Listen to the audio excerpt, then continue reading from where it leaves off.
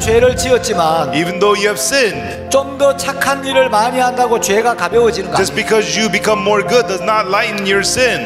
우리의 모든 죄는 오직 예수님의 피로만 씻습니다. All of our sins are washed only by the blood of Jesus. 그래서 내가 죄인인 걸 인정하고 So when you acknowledge that you're a sinner, 예수님의 피가 우리를 모든 죄에서 깨끗게 한 사실을 받아들이면 and when you accept the fact that the blood of Jesus cleansed you from all sin, 내가 의인으로 거듭납니다. you become born again righteous.